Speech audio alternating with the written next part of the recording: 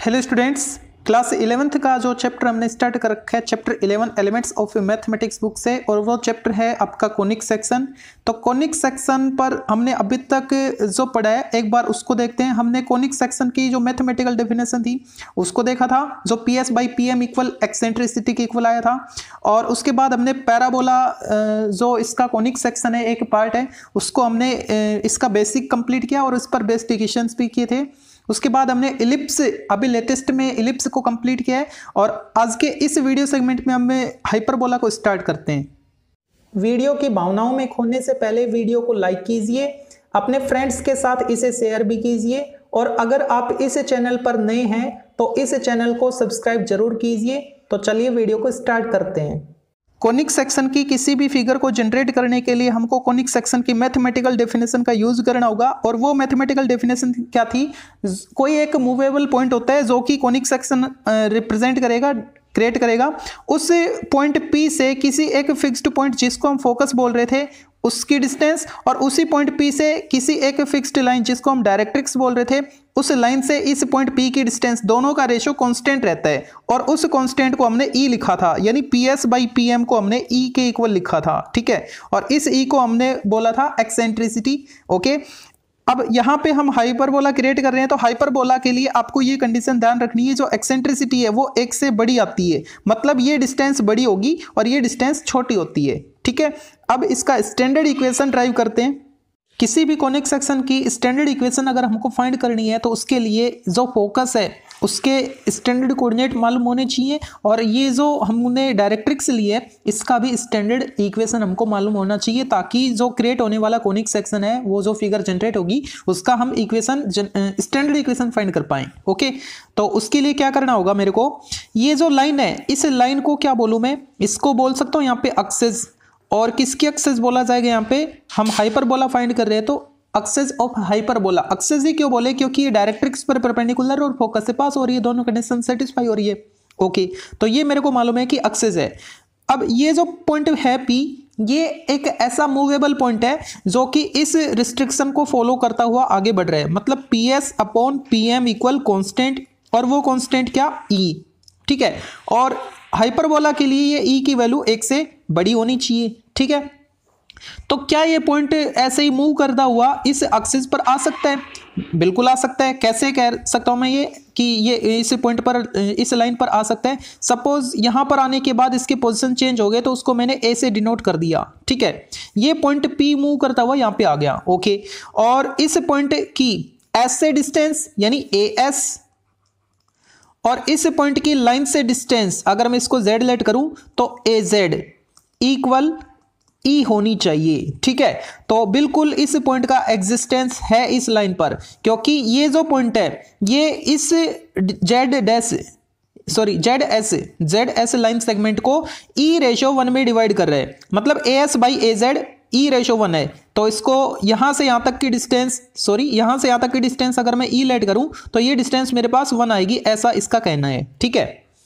तो ये जो ए पॉइंट है ये अभी तो इस लाइन को इंटरनली डिवाइड कर रहे हैं। क्या एक्सटर्नली कर सकता है? जैसे हमने इलिप्स में चेक किया था। अगर ये एक्सटर्नली करेगा तो वो इधर भी कर सकता है एक्सटर्नली जेडएस से बाहर इधर भी हो सकता है, वो इधर भी हो सकता है। किधर होगा? सपोज़ मैं इधर पॉइंट लेता हूँ तो इधर अगर मैं पॉइंट लूँगा तो ये रिस्ट्रिक्शन फॉलो नहीं होगा। यहाँ पे देखो, जो पीएस है ना, और जो पीएम है, उन दोनों का रेशो एक से बड़ा आ रहा है। ई e की वैल्यू जो भी आएगी वो क्या आएगी? ग्रेटर देन वन एक से बड़ी। एक से बड़ी आने का मतलब क्या है? ऊपर वाली डिस्टेंस बड़ी है, नीचे वाली डिस्टेंस छोटी है। यानी उस पॉइंट की एस से डिस्टेंस बड़ी होनी चाहिए फोकस से डिस्टेंस बड़ी होनी चाहिए। और जो लाइन है, उससे डिस्टेंस छोटी होनी चाहिए। तभी मेरे को एक से बड़ी वैल्यू मिलेगी। अगर मैं इस पॉइंट ए को यहाँ पे लेता हूँ तो उस पॉइंट की ए से डिस्टेंस ए एस और ये तो मेरा न्यूमरेटर हो गया। और इस पॉइंट की लाइन से डिस्टेंस ए जेड ये तो काफ़ी बड़ी होगी यानी यहाँ पे डेनोमिनेटर बढ़ा रहा है तो वो पॉइंट इधर नहीं हो सकता। तो क्या मैं उस पॉइंट ए को इधर ले सकता हूँ? यहाँ पे कहीं, यहाँ पे मान लो मैंने पॉइंट ले लिया ए ये ए वन मान लो और ये ए टू मान लो, ठीक है? तो क्या ये पॉइंट इस लाइन को इस रेशियो में डिवाइड कर पाएगा? इसको फॉलो करता हुआ देखते हैं। ये जो ए एस है और ए जेड है उनका रेशो एक से बड़ा आना चाहिए, ऐसा ही कह रहा है, ठीक है? तो इस पॉइंट की फोकस से डिस्टेंस यानी A two A two S और इस पॉइंट की वर्टेक्स से डिस्टेंस यानी ए टू जेड तो ए टू एस बड़ा है ए टू जेड छोटा है, यानी नोमिनेटर बड़ा आ रहा है डिनोमिनेटर छोटा आ रहा है। इसका मतलब हमको जो एक्सटर्नली डिवीज़न करना होगा जेड एस का, इसी रेशो को मेंटेन करते हुए तो वो पॉइंट अब की बार इधर ना लेके इधर लेना होगा, ठीक है? ओके अब देखो, ये जो पॉइंट था पी यही तो मूव करता हुआ आगे बढ़ रहा है। और ये जो पी मूवेबल पॉइंट है, यही तो क्रिएट कर रहा है। इसका जो लोकस आएगा, वही तो क्या आएगा? वही तो हमारा हाइपरबोला आएगा, ठीक है? तो इससे बनने वाली जो फिगर है, उसको मैं रिप्रेजेंट कर देता हूँ पहले, इस टाइप से। और ऐसे ये इधर से भी जाएगा। ए टू से ए टू यहाँ पे है। ओके ठीक है। अब ये जो कर्व आई है ना, ये वाली और ये वाली इस कंप्लीट को ही बोलेंगे हाइपरबोला ठीक है? अब यहाँ पे आप देख रहे होंगे कि ए टू और ए वन ये दोनों मेरे को दो वर्टिसेस मिल चुके हैं। वर्टिसेस क्यों बोल रहा हूँ मैं? क्योंकि वर्टिसेस हमने पढ़ा था स्टार्टिंग में कोनिक सेक्शन में, को जब स्टार्ट किया तो पैराबोला वाले केस में ही हमने इसको एक्सप्लेन कर लिया था कि जो कोनिक सेक्शन है, जो भी हमको शेप मिल रही है, ठीक है, उसका अपनी एक्सिस के साथ जो पॉइंट ऑफ़ इंटरसेक्शन होता है, वो क्या होता है? वर्टिसेस होते हैं वर्टेक्स होता है, ठीक है। तो एक वर्टेक्स ये हो गया, ऐसे ही एक वर्टेक्स ये हो गया, ठीक है। तो दो वर्टिसेस हैं। अब यहाँ पे मेरे को इस पॉइंट एस की पोजीशन मालूम नहीं है, ठीक है? ऐसे पॉइंट का कोऑर्डिनेट क्या है? तो उसके लिए मेरे को coordinate axes standard coordinate axes यानी एक्स और वाई एक्सेस मेरे को लेने होंगे। तो ये जो हॉरिजॉन्टल इसी को क्यों ना मैं एक्स एक्सेस लेट कर लूँ? ये हो गया मेरा एक्स एक्सेस अब वाई एक्सेस कहाँ पे लू? देखो, ये दोनों, दिखने में ऐसा लग रहा है कि ये दोनों सिमेट्रिक हो, ठीक है? तो किसके अलोंग सिमेट्रिक ले? क्यों ना हम वाई एक्सेस के अलोंग सिमेट्रिक ले ले? अगर मैं वाई एक्सेस के अलोंग सिमेट्रिक लूँगा तो मेरे को a1 और ए टू का मिड पॉइंट जो होगा, उससे वाई एक्सिस को पास करना होगा। तो उसको मैं रेड लाइन से रिप्रेजेंट कर देता हूँ किसको? वाई एक्सिस को। ठीक है? तो ये मैंने सेलेक्ट कर लिया रेड कलर और ये मैंने ड्रॉप की। लेकिन ये कह रहा है कि ये दोनों वर्टिसेस का मिड पॉइंट होना चाहिए, है ना? तो ये मिड पॉइंट तो नहीं था। हाँ अब आ जाएगा मिड पॉइंट लगभग यहाँ पे आएगी कोई एक लाइन जो ए वन ए टू के मिड पॉइंट से पास होगी। ठीक है? तो ये क्या है? ये है हमारा वाई एक्सेस ये वाला वाई एक्सेस है, ठीक है? अब इसका जो मिड पॉइंट आया, और वो मिड पॉइंट एक्स को भी कट कर रहा है, इसका मतलब ये क्या होगा? ये तो ओरिजिन होगा, और ओरिजिन के कोऑर्डिनेट हमको मालूम है। तो इस मिड पॉइंट को मैं सी से रिप्रेजेंट कर लेता हूँ, और इसके कोऑर्डिनेट क्या आएँगे? ज़ीरो कोमा ज़ीरो ओके तो यहाँ पे सी की ए से डिस्टेंस जितनी आएगी सी की, इस पॉइंट ए से डिस्टेंस अगर मैं स्मॉल ए लूँ तो ए वन की डिस्टेंस ए वन है यहाँ पे, है ना? तो इस पॉइंट सी से ए टू की डिस्टेंस भी स्मॉल ए की इक्वल आएगी। क्यों? क्योंकि ए वन ए टू का मिड पॉइंट हमको मिल चुका है सी सी से हम डिस्टेंस मेजर कर रहे हैं इनकी, ठीक है? तो इस वर्टेक्स और इस वर्टेक्स के कोऑर्डिनेट मेरे को मिल चुके हैं। एक्स एक्सिस पर लाई कर रहा है, इसका मतलब वाई कोऑर्डिनेट इसका ज़ीरो होगा तो ये कोऑर्डिनेट आया ए कोमा ज़ीरो लेकिन ये वाई एक्सिस के लेफ़्ट साइड है तो ये नेगेटिव ए आएगा। माइनस ए कोमा ज़ीरो और यहाँ पे क्या आया? Plus a comma zero. ठीक है? लेकिन अभी भी मेरे पास फोकस के कोऑर्डिनेट नहीं आए। वर्टेक्स के तो कोऑर्डिनेट आ गए। वर्टिसेस के कोऑर्डिनेट क्या है? Plus minus a comma zero ठीक है? Plus minus a comma zero और यही आए थे इलिप्स में। लगभग लगभग इलिप्स वाले ही हमको केस मिलेंगे। वो देखो कैसे आएँगे। तो अब इसका स्टैंडर्ड इक्वेशन ड्राइव करना है मेरे को। उसके लिए मेरे को फोकस के कोऑर्डिनेट स्टैंडर्ड चाहिए। है ना? तो यहाँ पे मैं जो वर्टिसेस लिया हूँ ए वन और ए टू तो ए वन और ए टू के फॉर्मेट में इस रिलेशन को कैसे लिखूं? इस पॉइंट की फोकस से डिस्टेंस यानी ए वन एस अपॉन इस पॉइंट की लाइन डायरेक्ट्रिक्स से distance A one Z equal किसके आएगी? ई e के इक्वल आएगी। ठीक है? ओके दूसरा क्या? अगर मैं इस पॉइंट से ये डिस्टेंस निकालना चाहूँ तो ए टू की फोकस से डिस्टेंस यानी ए टू एस और इसी पॉइंट से इस डायरेक्ट्रिक्स की डिस्टेंस ए टू जेड वो भी क्या आएगी? ई e आएगी। अब इन दोनों को सोल्व करना होगा, ठीक है? तो क्रॉस मल्टीप्लाई करके मैं नेक्स्ट पेज पर इनको लिखता हूँ। फ़र्स्ट इक्वेशन से ए वन एस की वैल्यू मिलेगी क्रॉस मल्टीप्लाई करने के बाद e times of A one Z अब ये जो डिस्टेंस है, ये डिस्टेंस और ये डिस्टेंस आप ओरिजिन से इनके डिस्टेंस से कंपेयर करके निकालो। ए वन एस मैं निकालना चाह रहा हूँ पहले। तो जो ए वन एस है ए वन एस ये डिस्टेंस इसको मैं क्या लिखूं? अगर मैं ओरिजिन से स्टार्ट करूँ तो C S minus C A one तो मेरे को ए वन एस मिल जाएगी। ए वन एस किसके इक्वल आएगी? C S minus C A one तो मैंने लिखा C S minus C A one equal e times of A one Z अब ए वन जेड को देखो A one Z A one यहाँ पे जेड यहाँ पे मतलब ये डिस्टेंस मेरे को निकालनी है, ठीक है? तो इस डिस्टेंस को मैं कैसे निकाल सकता हूँ? C A one minus C Z तो मैं लिख रहा हूँ यहाँ पे सी ए वन माइनस सी एक बार फिर से देखो C A one minus C Z तो इसको मैं क्या लिखूं? सी जेड लिखूँगा सी जेड ठीक है? अब यहाँ पे देखो, जो सी ए वन है, वो मेरे को स्मॉल ए मिल रहा है। सी ए वन क्या डिस्टेंस मिल रही है? स्मॉल ए तो यहाँ पे मैं सब्सटीट्यूट करता हूँ सी ए वन के बदले small a equal e times of C A one small a minus C Z इसको मान लेता हूँ मैं इक्वेशन फ़र्स्ट है ये। अब इसको सोल्व करता हूँ। ए टू एस इक्वल क्या आएगा? E times of A two Z ठीक है? तो ए टू एस डिस्टेंस देखो ओरिजिन से। ए टू एस तो इसको मैं लिख सकता हूँ A two C plus C S A two C plus C S equal e times of A two Z अब ए टू जेड को मैं क्या लिख सकता हूँ? ए टू जेड यानी A two C plus C Z A two C plus C Z ये दो इक्वेशन आए। उससे पहले मैं डिस्टेंस मेरे को मिली हुई है। वो डिस्टेंस भी सब्सटीट्यूट करता हूँ। कौन सी? ए टू सी कितनी है? ए है। ए टू सी जहाँ पे है, वहाँ पे मैं स्मॉल ए लिख देता हूँ। ए टू सी यहाँ पे और यहाँ पे है। तो इन दोनों के बदले मैं स्मॉल ए सब्सटीट्यूट करता हूँ। Plus C S equal e times of small a plus C Z अब इन दोनों इक्वेशंस को सोल्व करना होगा। तो एक बार मैं इन दोनों को ऐड कर लेता हूँ। फ़र्स्ट और सेकेंड को ऐड करने पर। क्या मिलेगा? अगर मैं इनको ऐड करता हूँ फ़र्स्ट वाला, ये वाला ये वाला तो ए कैंसिल हो जाएगा C S plus C S two C S और इधर ई e तो कॉमन है, दोनों इक्वेशन में। और अंदर वालों को सोल्व कर लो तो सी जेड कैंसिल हो जाएगा टू ए मिलेगा टू स्मॉल ए टू से टू कैंसिल हो गया टू से टू कैंसिल हो गया ओके तो यहाँ पे सी एस की वैल्यू क्या आई? फिर से ए ई e आ गई है। और ए ई e, ये किसमें आई थी? ये ही इलिप्स में आई थी। इसका मतलब जो फोकस है उसका कोऑर्डिनेट क्या आ गया? वापस से ए ई e आ चुका है। ठीक है? अब अगर मैं इन दोनों इक्वेशन को माइनस कर दूँ तो मेरे को सी जेड मिलेगा। ठीक है? अब मैं कर रहा हूँ फ़र्स्ट माइनस सेकेंड पहले में से दूसरे को माइनस कर दो। तो इस में से इसको अगर मैं माइनस करूँगा तो C S cancel minus a और minus a minus two a equal यहाँ पे इनको माइनस करना है। ई e तो कॉमन है दोनों में। ठीक है?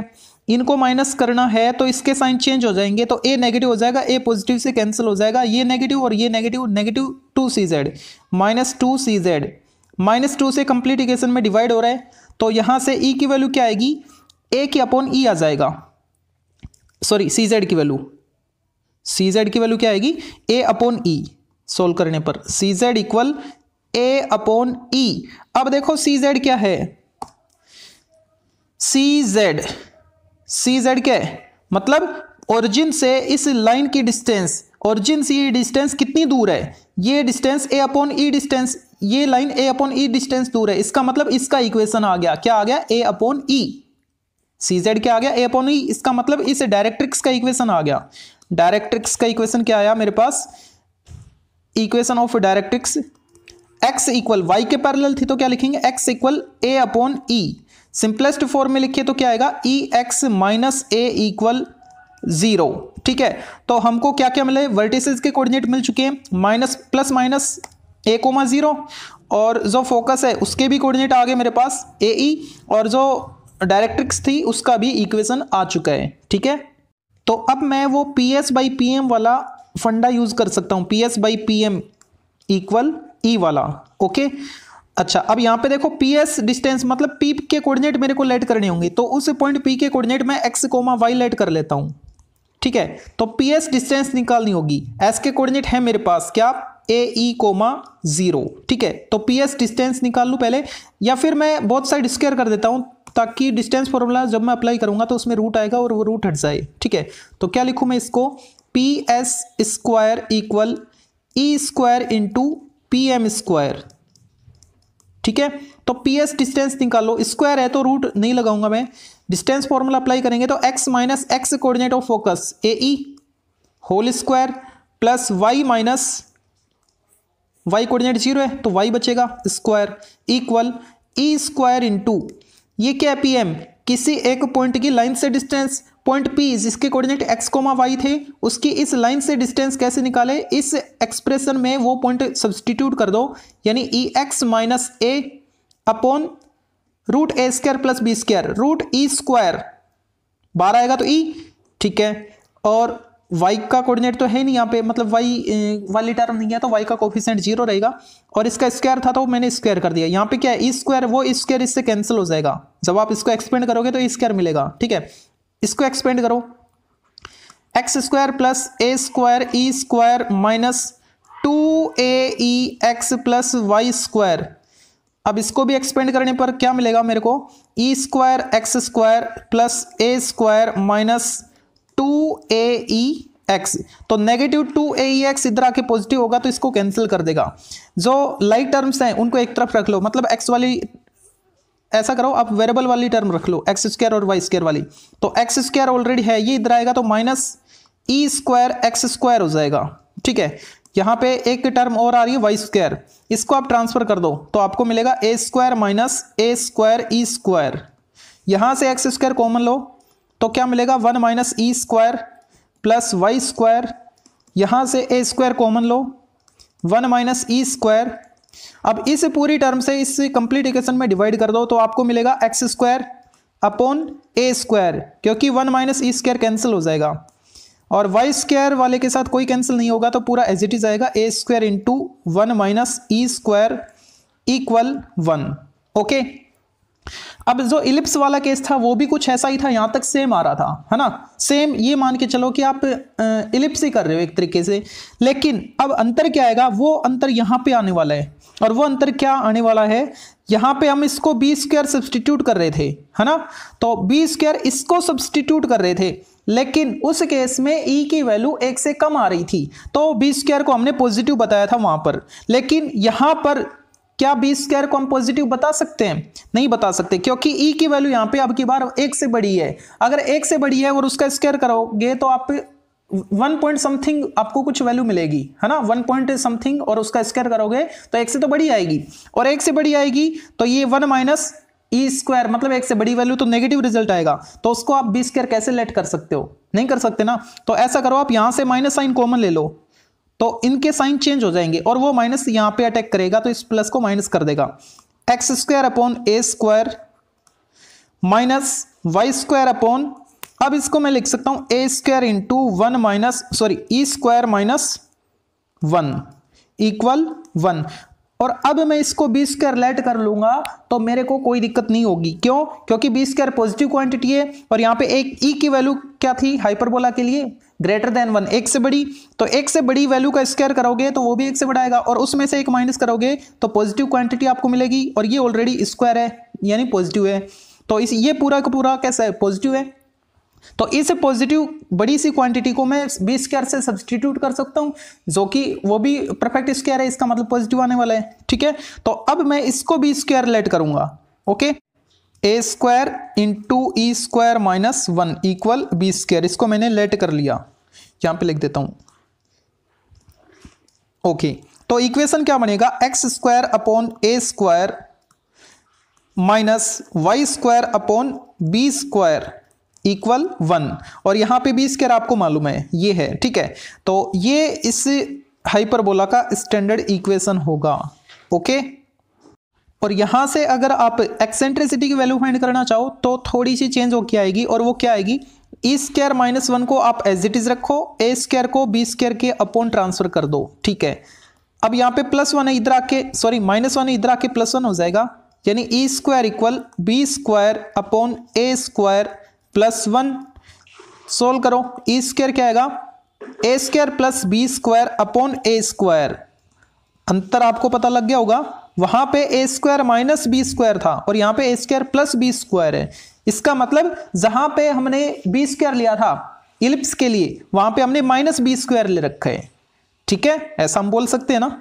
ओके तो ई ए और बी उसमें रिलेशन ये है, यानी एक्सेंट्रिसिटी हमको यहाँ से मिलेगी ए और बी की वैल्यू अगर मिल जाती हैं तो।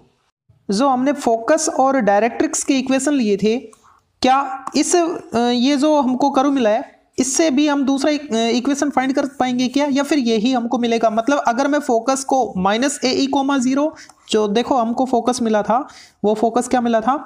ए ई है ना? अगर मैं उसको माइनस ए ई ले लूँ और जो डायरेक्ट्रिक्स का इक्वेशन हमको मिला था, उसका मैं, उसको मैं माइनस ए अपॉन ई ले लूँ तो क्या मेरे को वही इक्वेशन मिलेगा जो अभी हमने जनरेट किया है? ये वाला। तो एक बार इसको चेक करते हैं। तो अब की बार मैंने ये फोकस और ये डायरेक्ट्रिक्स ली है तो इसको सिंप्लीफाई करके मेरे को इक्वेशन मिला डायरेक्ट्रिक्स का e x plus a equal zero और जो पी पॉइंट था, उसके कोऑर्डिनेट हमारे पास एक्स कोमा वाई थे।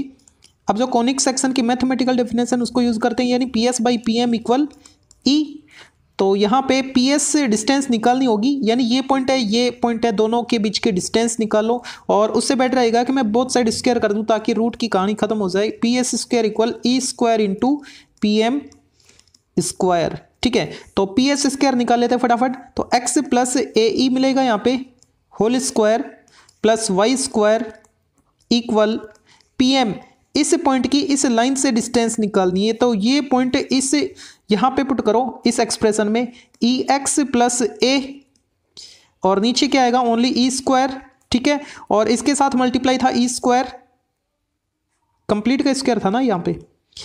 और मल्टीप्लाई क्या आएगा? ई स्क्वायर तो ई स्क्वायर कैंसिल हो जाएगा। अब इनको सोल्व करो।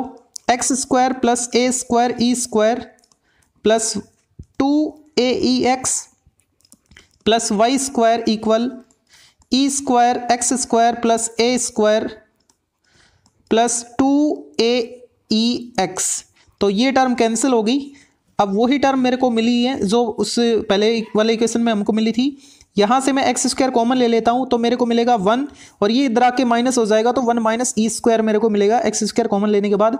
Plus y square as it is equal यहाँ से मैं ए स्क्वायर कॉमन ले लेता हूँ तो यहाँ पे तो मिलेगा वन और ये टर्म इधर आएगी तो माइनस हो जाएगी ए स्क्वायर कॉमन आ चुका तो ई स्क्वायर कंप्लीट इक्वेशन को इससे डिवाइड कर दो तो आपको मिलेगा x square upon a square plus y square upon a square into one minus e square equal one अब इसको हमने क्या किया था? इसका साइन चेंज किया था माइनस साइन कॉमन लिया था, क्योंकि ई e की वैल्यू यहाँ पे ग्रेटर देन वन है ठीक है? तो इसको मैं बी स्क्र नहीं लिख पाऊँगा नेगेटिव आएगी। तो उससे नेगेटिव को पॉजिटिव बनाने के लिए मैं माइनस साइन कॉमन लेकर यहाँ पे प्लस को माइनस कर देता हूँ।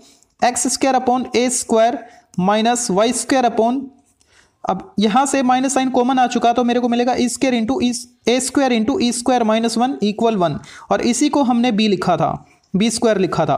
तो इक्वेशन हमारे पास आया था x square upon a square minus y square upon b square इसी को हमने बी स्क्वायर लिखा था ना?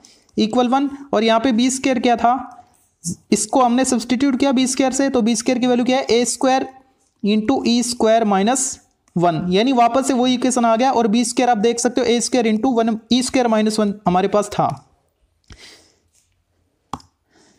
बी स्क्वायर था हमारे पास a square into e square minus one और वही यहाँ पे जनरेट होके आया है। ठीक है? इसका मतलब जो हमको इलिप्स मिला है, उसके भी दो फोकस हैं। ठीक है? और दो फोकस जिनके कोऑर्डिनेट क्या है? ए ई कोमा ज़ीरो और minus a e comma zero यानी plus minus a e comma zero और दो ही उसकी डायरेक्ट्रिक्सेस होंगी? जिसमें एक का इक्वेशन हमको मिला था x equal a upon e तो दूसरे वाले का x equal minus a upon e यानी x equal plus minus a upon e तो इसके जो कुछ इंपॉर्टेंट पॉइंट्स जो हमने फाइंड किए हैं, उनको एक बार लिख लेते हैं। जिस हाइपरबोला का इक्वेशन हमने फाइंड किया, वो देखने में कुछ ऐसा डायग्राम आपको दिखेगा। तो इसके जो इंपॉर्टेंट पॉइंट्स अभी तक जो फाइंड कर चुके हैं और आगे जो पॉइंट्स आएँगे, उन सभी को मैं यहाँ पे प्लॉट करूँगा। तो यहाँ पर ये जो दो पॉइंट आप देख रहे हैं, ये वाला और ये वाला, ये दोनों इसकी फोकी हैं। किसकी? इस हाइपरबोला के लिए, ठीक है? तो ये जो फोकस है और ये जो फोकस है, इनके कोऑर्डिनेट हमको मिल चुके थे plus minus a e comma zero आया था। तो plus a e comma zero और minus a e comma zero किसको लें? अगर मैं plus a e comma zero लिखना चाहूँगा तो इसको लिखूँगा क्योंकि ये वाई एक्सेस से राइट साइड है पॉजिटिव एक्स एक्सेस की ओर तो एक्स एक्सेस उसका पॉजिटिव होना चाहिए मतलब ए ई पॉजिटिव होना चाहिए। तो plus a e comma zero इसका कोऑर्डिनेट आएगा। उसको मैं एस वन से रिप्रेजेंट कर लेता हूँ। यानी एस वन का कोऑर्डिनेट मेरे पास क्या है? ए ई कोमा ज़ीरो और इसको अगर मैं एस टू से रिप्रेजेंट करूँ तो एस टू के कोऑर्डिनेट क्या आएँगे? Minus a e comma zero ठीक है। जो इसकी फोकी थी, उसके कोऑर्डिनेट हम फाइंड कर चुके हैं। अब बात करते हैं इसके वर्टिसेस की। तो इसके जो दो वर्टिसेस हैं, ये वाला और ये वाला, इनको हमने ए वन और ए टू नाम दिया था। ये हमारे पास ए वन था और ये हमारे पास ए टू था। तो ए वन के कोऑर्डिनेट क्या आए थे हमारे पास? A comma zero small a comma zero और ए टू के कोऑर्डिनेट हमारे पास थे माइनस ए कोमा ज़ीरो ठीक है? और साथ के साथ ये जो पॉइंट है, ये कौन सा पॉइंट है? इस हाइपरबोला का मिड पॉइंट है मतलब इसका सेंटर है, और सेंटर के कोऑर्डिनेट भी हमने फाइंड किए थे। सेंटर क्या था इसका? ओरिजिन और ओरिजिन के कोऑर्डिनेट क्या थे? ज़ीरो कोमा ज़ीरो उसको हमने सी से डिनोट किया था। ठीक है? अब ये जो दो ब्लू लाइन आप देख रहे हैं, ये हैं इसकी वर्टिसेस सॉरी डायरेक्ट्रेसेज तो इन डायरेक्ट्रेसेस का इक्वेशन क्या आएगा? एक का आया था प्लस ए अपोनी और एक का आया था माइनस ए अपोनी तो इस वाली लाइन का इक्वेशन क्या आएगा? X equal a upon e और इसका x equal minus a upon e, okay?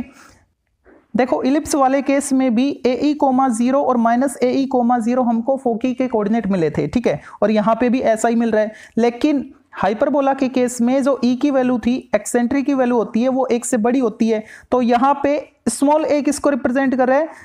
इस ओरिजिन से ए की डिस्टेंस को यानी इस डिस्टेंस को। तो इस डिस्टेंस को अगर मैं ए से ई e से मल्टीप्लाई करूँगा और वो वैल्यू यहाँ पे बड़ी आ रही है ए ई e, यहाँ से यहाँ तक की डिस्टेंस सी ए से बड़ी मेरे को दिख रही है C S C S one ठीक है? ऐसा तभी हो सकता है जब ई की वैल्यू एक से बड़ी आएगी। अगर ई की वैल्यू एक से बड़ी आएगी तो उसको आप ए से मल्टीप्लाई करोगे तो वो डिस्टेंस भी बड़ी दिखेगी ना। ठीक है?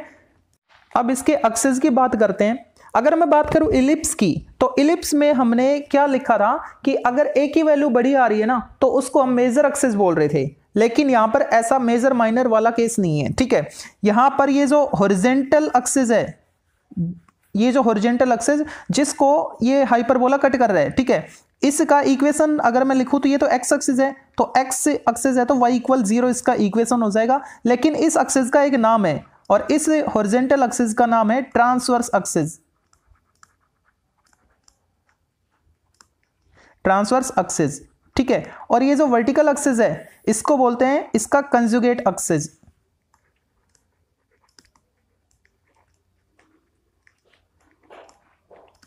ओके? अच्छा अब ये जो ट्रांसवर्स एक्सेस है और जो कंजुगेट एक्सेस है, इनकी लेंथ क्या आएगी? तो जो ट्रांसवर्स ट्रांसवर्स एक्सेस है, यानी जो हॉरिजेंटल है, उसकी लेंथ हमको फाइंड करना है, और वो लेंथ होती है ए वन और ए टू के बीच की डिस्टेंस यानी ए वन ए टू और ए वन ए टू हमने क्या ली थी? यहाँ से यहाँ तक की डिस्टेंस को स्मॉल ए लिया था, यहाँ से यहाँ तक की डिस्टेंस को स्मॉल ए लिया था। कोऑर्डिनेट की बात हो रही थी तो यहाँ पे माइनस और यहाँ पे प्लस अप्लाई किया था। तो ये टोटल डिस्टेंस कितनी हो गई है? ए यहाँ से यहाँ तक और ए यहाँ से यहाँ तक। टू ए ठीक है? तो जो ट्रांसफर्स एक्सेस है, उसकी लेंथ क्या रहेगी? उसकी लेंथ रहेगी टू ए और बात करें कंजुगेट एक्सेस की तो कंजुगेट एक्सेस की लेंथ कैसे फाइंड कर सकते हैं? वो तब फाइंड करेंगे जब हमको ये जो हाइपरबोला है, ये वर्टिकल फॉर्मेट में दिया जाएगा। अभी तो हॉरिजेंटल फॉर्मेट के साथ है हॉरिजेंटल एक्सेस के साथ है वर्टिकल एक्सेस के साथ इस टाइप से बनेगा। तो उस केस में हम कॉन्जिगेट एक्सेस की लेंथ फाइंड करेंगे और वो आएगा क्या, वो मैं यहाँ पे अभी प्लॉट कर देता हूँ। मान लो वो यहाँ पे और यहाँ पे कट कर रहे हैं, ठीक है? इसका मतलब एक्स कोऑर्डिनेट तो उसका ज़ीरो रहने वाला है। अगर मैं इसको बी वन और इसको बी टू प्लॉट करूँ तो एक्स कोऑर्डिनेट तो उनका ज़ीरो रहेगा वाई एक्सेस की बात हो रही है तो ठीक है? लेकिन वाई कोऑर्डिनेट कुछ तो होगा ना, उसको मैं बी लेट कर लेता हूँ। तो वो बी क्या आएगा? बी और ये माइनस बी ठीक है? तो ये जो डिस्टेंस है बी वन बी टू ये इसकी लेंथ होगी कॉन्जिगेट एक्सिस की ओके तो इसकी लेंथ भी क्या आएगी? टू बी आएगी। यहाँ से यहाँ से यहाँ तक की डिस्टेंस भी और नीचे भी डिस्टेंस डिस्टेंस की बात कर रहा हूँ मैं ना कि कोऑर्डिनेट की तो ये और ये कितने हो गए? टू बी हो गए ना? तो इसकी लेंथ भी कितनी रहेगी? टू बी रहेगी। आपको एक बात और नोट करनी चाहिए इस फिगर के लिए। ये जो फिगर है, ये किसके लिए आया है? X square upon a square minus y square upon b square equal one के लिए, है ना? देखो इलिप्स में हमने क्या किया था? अगर मेजर एक्सिस एक्स था तो एक्स स्क्वायर वाले के नीचे हमने ए वाली टर्म को लिखा था। और अगर मेजर एक्सिस वाई था तो वो ए स्क्वायर इसके नीचे लिखा था बी स्क्वायर को इसके नीचे लिखा था। लेकिन यहाँ पे ऐसा कुछ नहीं करना आपको।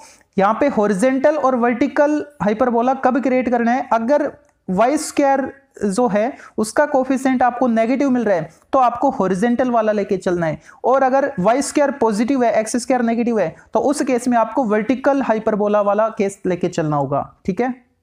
तो अक्सिस के बाद हम बात करते हैं इसके लेटेस्ट रेक्टम की। अगर इसको मैं इसको P1 P और Q1 लेट कर लूँ। और इस डिस्टेंस को, इस पॉइंट को P2 और इसको Q2 ले लूँ। तो इनके कोऑर्डिनेट मैं फाइंड कर पाऊँगा। जो P1 है, इसका x कोऑर्डिनेट तो मेरे को मालूम है ई है, ठीक है? तो ए ई इसका x कोऑर्डिनेट हो गया। Y कोऑर्डिनेट क्या आएगा, ये मेरे को फाइंड करना होगा। यहाँ पे भी ए ई आएगा, y क्या आएगा, वो मैं फाइंड करूँगा। यहाँ पे x कोऑर्डिनेट क्या है माइनस ए ई वाई मेरे को फाइंड करना होगा और यहाँ पे भी इसका x coordinate minus a e है।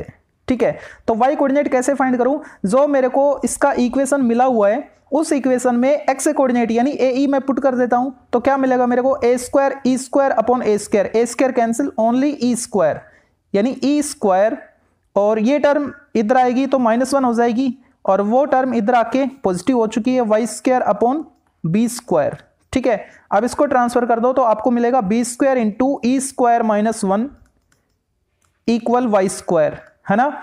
अच्छा अब देखो, ये ई स्क्वायर माइनस वन हमने पहले भी फाइंड किया है। जब बी स्क्र की वैल्यू फाइंड की थी उस केस में तो देखो बी स्क्र की वैल्यू हमने क्या फाइंड की हुई है?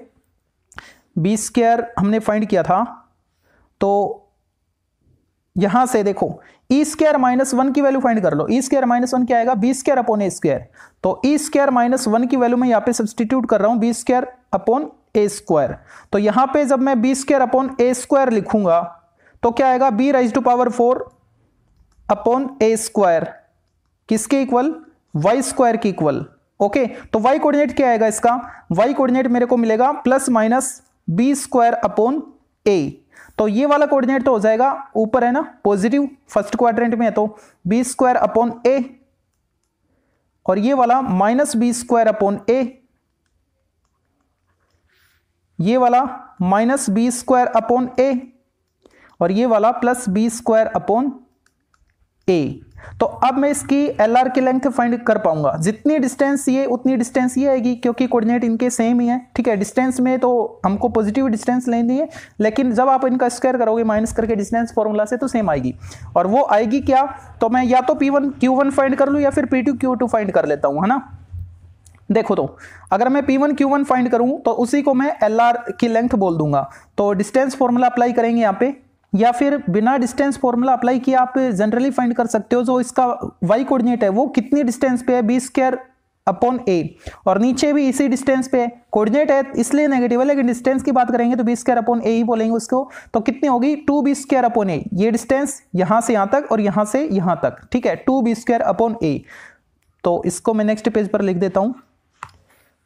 Length of latus rectum two b square upon a और इसके साथ ही लिख लेते हैं, हमारे पास जो एक्सेंट्रिसिटी आई थी एक्सेंट्रिसिटी ए और बी इनमें जो रिलेशन था वो क्या था? A square plus b square upon a square ये रिलेशन हमको मिल चुके थे ओके अब हम डिस्कशन करते हैं जो कंजुगेट हाइपरबोला है, उस पर जिसको हम बोल सकते हैं वर्टिकल फॉर्म ऑफ़ हाइपरबोला आप देख भी रहे होंगे, ये वर्टिकल फॉर्मेट में हाइपरबोला आपको मिला हुआ है। तो यहाँ पे इक्वेशन की मैं बात करूँ तो इक्वेशन जो हमको स्टैंडर्ड इक्वेशन मिला था ये वाला आप देख रहे होंगे x square upon a square minus y square upon b square ठीक है? तो कॉन्जुगेट के लिए अगर इसका कॉन्जुगेट फाइंड करना है तो एक्स स्क्र और वाई स्क्र के जो साइन है, उनको चेंज कर दो। तो यहाँ पे एक्स स्क्वायर इस वाले में तो x square positive y square negative था। और यहाँ पे एक्स स्क्वायर नेगेटिव और वाई स्क्वायर पॉजिटिव हो जाएगा। ठीक है? दूसरा फॉर्मेट आप ये देख सकते हैं। इस दूसरे वाले में अगर मैं माइनस वन से मल्टीप्लाई करूँगा तो वापस यही मिल जाएगा मेरे को। ठीक है? तो इसमें एक्सचेंज होने की क्या बातें थी? एक तो जो साइन है वो चेंज होते हैं। ठीक है? और दूसरी इसकी जो एक्सेंट्रिसिटी है, वो भी चेंज हो जाएगी। वहाँ पे देखो हमने ए बी और ई e में रिलेशन फाइंड आउट किया था। तो हमको मिला था a square into e square minus one equal b square यहाँ पे ए और बी रिप्लेस हो जाएँगे मतलब एक्सचेंज हो जाएँगे, ठीक है? तो आपको a square equal b square into ये रिलेशन मिलेगा। A square equal b square into e square minus one यहाँ से आप ई e फाइंड कर पाओगे। किसके लिए? वर्टिकल फॉर्म ऑफ़ हाइपरबोला उसके लिए, ठीक है? ओके अब बात करते हैं इसके जो वर्टिसेज है उनकी। तो सबसे पहले मैं सेंटर की बात करूँगा तो सेंटर क्या है? एक्स और वाई का पॉइंट ऑफ़ इंटरसेक्शन यानी ओरिजिन तो सेंटर को हमने सी से रिप्रेजेंट किया था तो उसके कोऑर्डिनेट क्या आएँगे? ज़ीरो कोमा ज़ीरो आएँगे। अब मैं बात करता हूँ इसके वर्टिसेज की। तो यहाँ पे भी दो वर्टिसेस देखने को मिल रहे हैं, एक तो ये वाला और एक ये वाला। तो ये जो वर्टिसेस है, इसको अगर मैं A1 और इसको A2 लेट कर लूँ तो इनके कोऑर्डिनेट क्या होंगे? यहाँ पे देखो, ये वाई एक्सिस है ना अगर ये वाई एक्सिस है तो एक्स कोऑर्डिनेट इस लाइन पर ज़ीरो रहेगा तो एक्स की वैल्यू इक्वेशन में ज़ीरो पुट कर दो आप। अगर x की वैल्यू ज़ीरो पुट करोगे तो minus x square upon a square तो कैंसिल हो गया मतलब ज़ीरो बन गया। तो यहाँ से वाई स्क्वायर की वैल्यू क्या आ रही है? बी स्क्वायर की इक्वल तो y की वैल्यू क्या आएगी? प्लस माइनस बी मतलब आपको इसका कोऑर्डिनेट क्या मिलेगा? ज़ीरो कोमा प्लस बी और इस वाले का मिलेगा zero comma minus b okay अब मैं बात करूँ इसकी फो की। ये वाली और ये वाली। ठीक है? तो इसको हमने S1 और इसको S2 लेट किया था, ठीक है? तो ये y एक्सिस है तो x कोऑर्डिनेट तो इस पर ज़ीरो होगा। दोनों का x कोऑर्डिनेट ज़ीरो हो गया। और y कोऑर्डिनेट क्या आएगा? फोकी के कोऑर्डिनेट हम कैसे फाइंड करते थे? ओरिजिन से जो वर्टेक्स थी, वहाँ तक की डिस्टेंस को e से मल्टीप्लाई करते थे। ठीक है, तभी तो हमको ए ई e मिला था, वहाँ पे डिस्टेंस ई ए थी, यहाँ से यहाँ तक ए और उसको फिर ई e से मल्टीप्लाई किया था तो ए ई कोमा ज़ीरो और minus a e comma zero हमको मिला था, ठीक है? तो यहाँ पे भी ई e से मल्टीप्लाई कर दो, जो वर्टेक्स का कोऑर्डिनेट आया उसको, यानी बी को ई से मल्टीप्लाई करोगे तो आपको कोऑर्डिनेट मिलेगा ज़ीरो कोमा बी ई और नीचे वाले का मिलेगा zero comma minus b e minus b को ई से मल्टीप्लाई करोगे तो माइनस बी ई तो ये हो गए इसकी फोकी के कोऑर्डिनेट यानी फोकस दोनों हम फाइंड कर चुके हैं। और बात करें डायरेक्ट्रिसेस के इक्वेशन की तो डायरेक्ट्रिक्स का इक्वेशन हम कैसे फाइंड करते थे? एक्स इक्वल रहती थी, अगर वो वर्टिकल लाइन थी तो यहाँ पे ओरिजेंटल है, यानी एक्स के पैरेलल है तो आपको इक्वेशन y इक्वल करके मिलेगा, ठीक है? आएगा क्या? Y इक्वल क्या लिखें? इसका भी और इसका भी। ये नेगेटिव के इक्वल आएगा, ठीक है? और ये पॉजिटिव रहेगा। तो जो वर्टेसेस के कोऑर्डिनेट थे, उसमें हम e से डिवाइड करते थे तो यहाँ पे क्या आएगा? B अपॉन ई इक्वेशन आएगा इसका b upon e y equal b upon e और इसमें माइनस बी अपॉन ई अब हम बात करते हैं इसके अक्सेज की, ठीक है? तो अक्सेज जो इसको कट नहीं कर रहा, इन हाइपरबोला को कट नहीं कर रहा, ठीक है? तो उसको हम बोलते हैं कॉन्जुगेट अक्सेस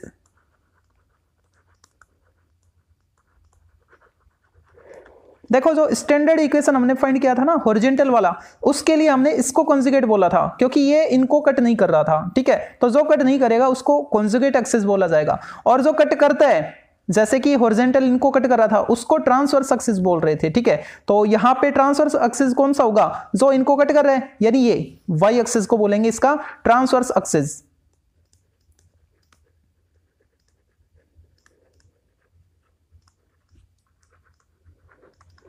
वर्टिकल हाइपरबोला के लिए ये ट्रांसवर्स एक्सेस होगा वाई वाला, और जो एक्स वाला है, वो कॉन्जुगेट एक्सेस होगा, ठीक है? अच्छा अब इनके इक्वेशन की बात करें तो ये कौन सा एक्सेस वाई इक्वेशन है तो इसका इक्वेशन क्या बनेगा? एक्स इक्वल ज़ीरो और जो कॉन्जुगेट एक्सेस था इस वर्टिकल हाइपरबोला के लिए तो वो कौन सा था? एक्स एक्सेस था तो एक्स एक्सेस के लिए इक्वेशन क्या होता है? वाई इक्वल ज़ीरो तो कॉन्जुगेट जो एक्सेस है, उसका इक्वेशन क्या आएगा? वाई इक्वल ज़ीरो अब बात करते हैं इसकी लेंथ की। तो ये लेंथ क्या आएगी? दोनों वर्टिसेस के बीच की डिस्टेंस तो ये डिस्टेंस कितनी है? B और ये डिस्टेंस भी b तो b plus b two b तो इसकी जो डिस्टेंस है, वो कितनी आएगी? टू आएगी। इसकी लेंथ क्या आएगी? टू किसकी? ट्रांसवर्सेस एक्सिस की। ओके और ये जो कॉन्जुगेट एक्सेस है तो कॉन्जुगेट एक्सेस की लेंथ हम तभी फाइंड कर सकते हैं जब इसका कॉन्जुगेट हमको हाइपरबोला मिले तो वो कहीं ना कहीं यहाँ पे भी कट करेगा, यहाँ पे भी कट करेगा। तो ये डिस्टेंस हमने क्या लेट की थी? ए तो ये डिस्टेंस अगर हमने ए लेट की थी यहाँ से यहाँ तक ए तो यहाँ से यहाँ तक भी ए था, ठीक है? तो इसकी लेंथ हमको क्या मिली थी? टू ए इसकी लेंथ क्या मिलेगी हमको? टू ए अब इसमें एक चीज़ और बची हुई है length of latus rectum L R इसकी लेंथ हमको फाइंड करनी है ओके तो यहाँ पर ये कुछ ना कुछ तो पॉइंट होगा सपोज़ पी वन पॉइंट है ये ये क्यू वन है, ये पी टू है और ये क्यू टू है। तो इनके कोऑर्डिनेट की अगर मैं बात करूँ तो कोऑर्डिनेट क्या आएगा? इसका वाई कोऑर्डिनेट तो मेरे को मिल गया। वाई कोऑर्डिनेट क्या इसका? बीई e है, ठीक है? तो बीई e तो इसकी वाई यहाँ से डिस्टेंस हो गई है। वाई कोऑर्डिनेट मतलब इसका बीई e हो गया। तो इसका क्या आएगा? माइनस बीई आएगा, ठीक है? तो ये हो गया माइनस बीई ओके अब एक्स की बात करूँ मैं एक्स की वैल्यू तो x की वैल्यू के लिए क्या करना पड़ेगा मेरे को? जो बी ई है, y कोऑर्डिनेट वो इस इक्वेशन में पुट करूँगा, ठीक है? तो सोल्व करने पे मिलेगा मेरे को ए स्क्वायर अपॉन बी तो ये वाला कोऑर्डिनेट क्या हो जाएगा? यहाँ पे x तो पॉजिटिव ही है ना, ठीक है?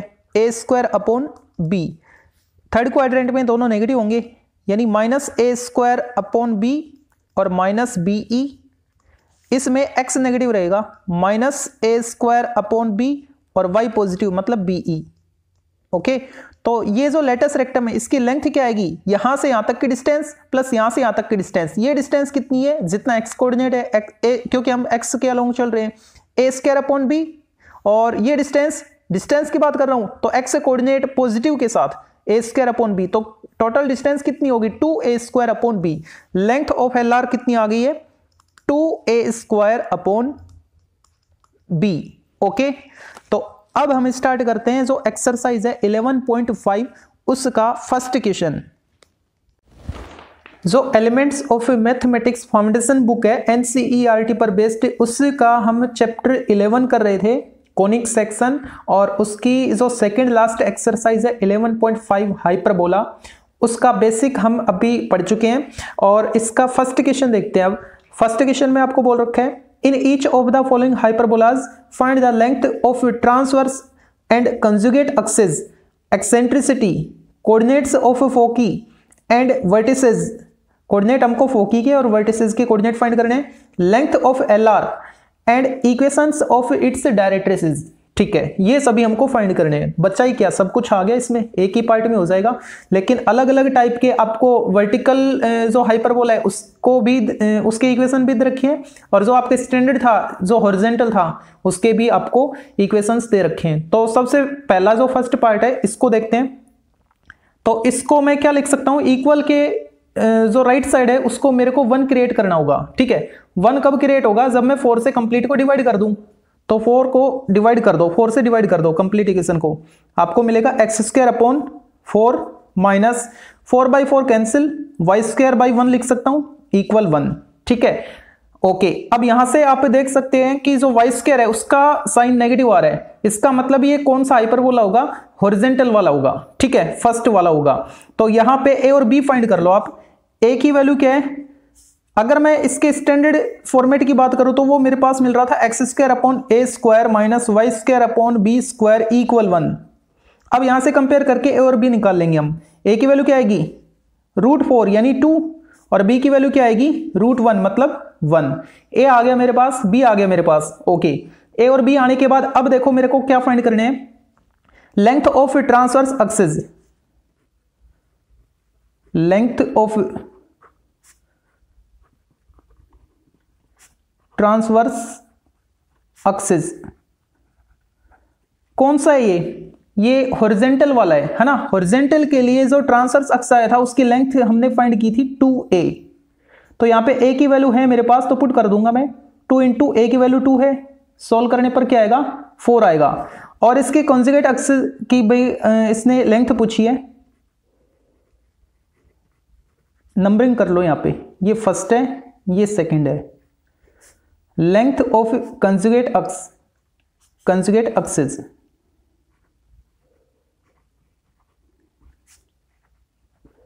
वो क्या थी? टू बी थी। तो यहाँ पे टू मल्टीप्लाई बी की वैल्यू क्या है? बी की वैल्यू मेरे को वन मिल रही है।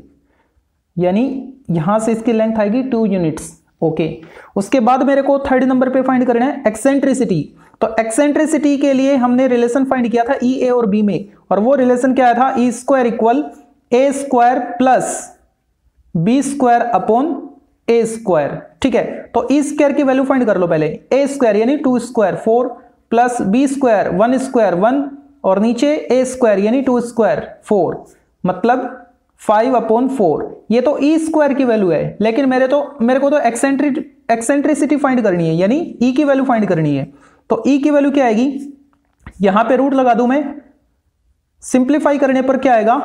Root five upon two plus minus नहीं लिख सकते यहाँ पे, क्योंकि जो ई e है वो दो डिस्टेंस का रेशो होता है, और डिस्टेंस कभी भी नेगेटिव नहीं होती तो ये नेगेटिव नहीं हो सकता, ठीक है? ई e की वैल्यू क्या आएगी? रूट फाइव अपॉन टू और आप चेक कर सकते हैं, ये वन पॉइंट समथिंग आएगी, ठीक है? मतलब एक से बड़ी आएगी, और जो हाइपरबोल है उसके लिए एक्सेंट्रिसिटी हमेशा एक से बड़ी होती है तो तीसरा पॉइंट भी हमने फाइंड कर लिया ई e की वैल्यू नेक्स्ट हमको फाइंड करना है coordinates of foci and vertices अब जो फोकी है उसका कोऑर्डिनेट हमको फाइंड करना है। फोकी। उसको अगर मैं एस से रिप्रेजेंट करूँ तो एस के कोऑर्डिनेट हमने फाइंड किए थे। एस के कोऑर्डिनेट क्या आए थे? Plus minus a e comma zero कब? जब हमको इक्वेशन कैसा मिला था? वर्टिकल सॉरी हॉरिजेंटल हाइपरबोला का इक्वेशन मिला था उस केस में, ठीक है? तो एस के कोऑर्डिनेट क्या आएँगे? Plus minus a multiply e इसको मल्टीप्लाई कर दो ए के साथ। ए की वैल्यू है टू तो मैं मल्टीप्लाई टू करूँगा तो टू कैंसिल रूट फाइव यानी plus minus root five comma zero ये मेरे को फोकी के कोऑर्डिनेट मिलेंगे. एक plus root five upon root five comma zero और दूसरा minus root five comma zero होगा. ठीक है? उसके बाद फाइंड करना मेरे को coordinate of a vertices fifth point इसको मैं वी लेट कर लेता हूँ. ठीक है? तो वी के कोऑर्डिनेट मेरे को मिले थे plus minus a comma zero ठीक है? तो यहाँ से वर्टिसेस के कोऑर्डिनेट क्या आएँगे? प्लस माइनस ए ए क्या है? टू तो आंसर आया मेरे पास plus minus two comma zero okay fifth point हो गया. उसके बाद फाइंड करना मेरे को length of latest rectum length of L R six point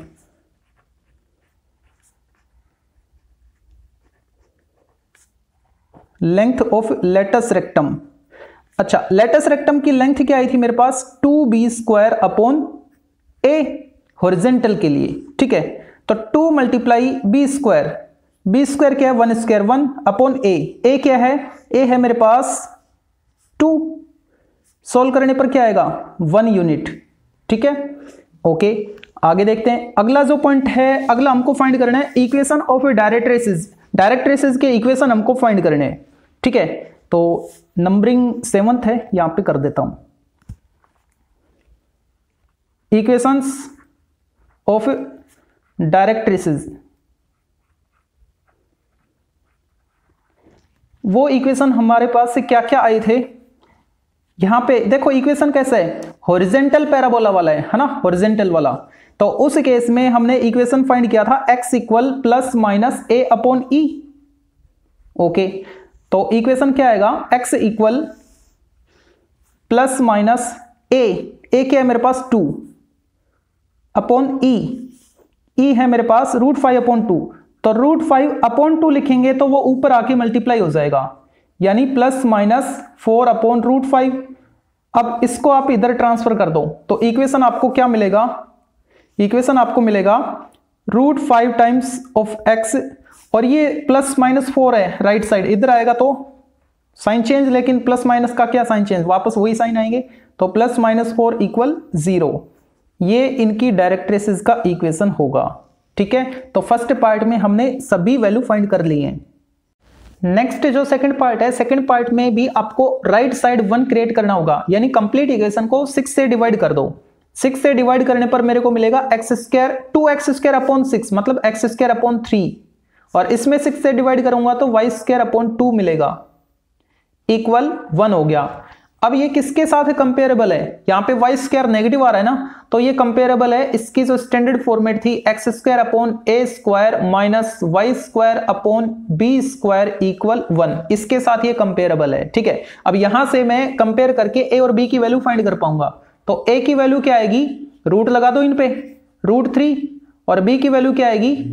root two ए आ गया बी आ गया मेरे पास। ओके अब वो सारी की सारी जो सेवन वैल्यूज़ हमने फाइंड की थी वन बाई वन इसमें भी फाइंड करेंगे। ठीक है जैसे फ़र्स्ट पार्ट में फाइंड की थी तो सबसे पहले जो वैल्यू थी वो थी हमारे पास ट्रांसवर्स एक्सेस उसकी लेंथ तो ए बी सी डी इस टाइप से नाम दे देता हूँ। ये नंबरिंग में ऑलरेडी टू आ रहे हैं ना? तो यहाँ पे मैं उस फ़र्स्ट पार्ट को ए से रिप्रेजेंट कर रहा हूँ। फ़र्स्ट पार्ट क्या था? Length of transverses transverse axis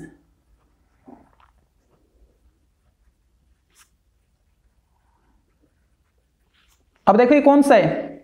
ये तो हॉरिजेंटल वाला है। और हॉरिजेंटल वाले में हमने इक्वेशन उसकी लेंथ क्या फाइंड की थी? टू ए टू ए तो टू मल्टीप्लाई ए की वैल्यू मेरे पास रूट थ्री है। तो इसकी लेंथ क्या आएगी? Two root three units okay blur तो नहीं हो रहा। ठीक है।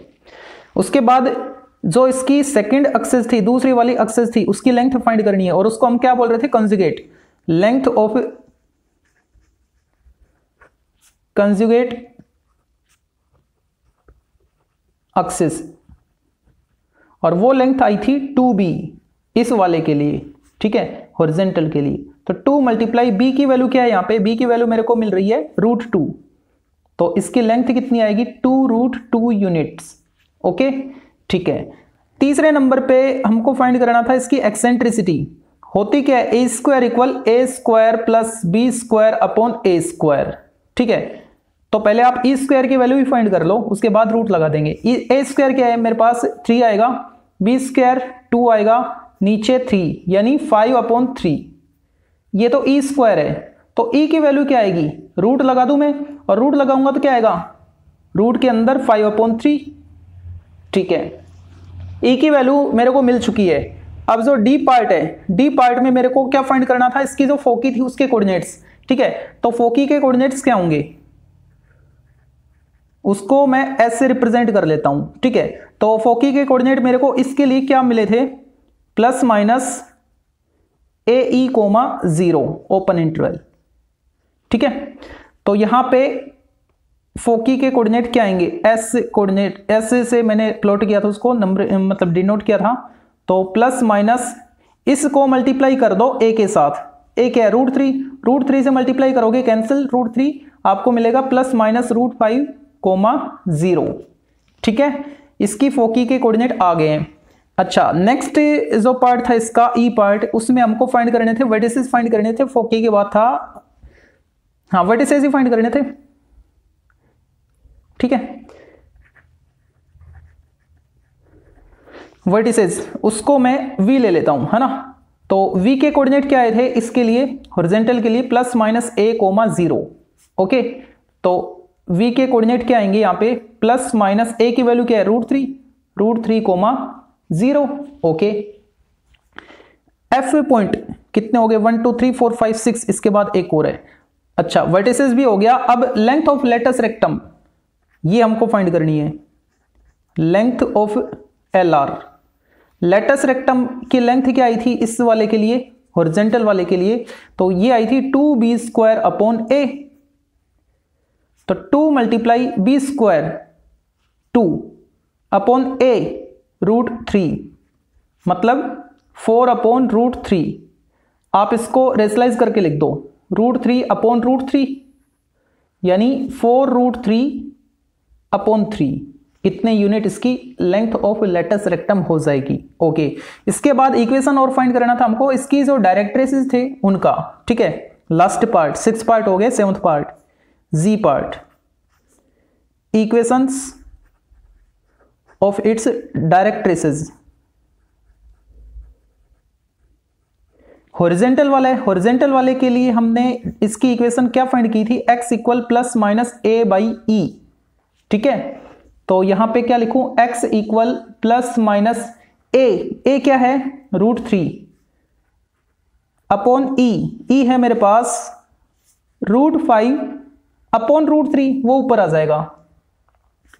यानी plus minus three upon root five अब इस रूट फाइव को आप इधर ले आओ एक्स के पास। तो आपको मिलेगा root five x equal plus minus three थोड़ा और सिंपलेस्ट फॉर्म में लिखोगे तो इक्वेशन आपको मिलेगा रूट फाइव एक्स इधर आएगा तो प्लस माइनस का साइन चेंज होगा। माइनस प्लस आएगा, उसको प्लस माइनस लिख सकते हैं।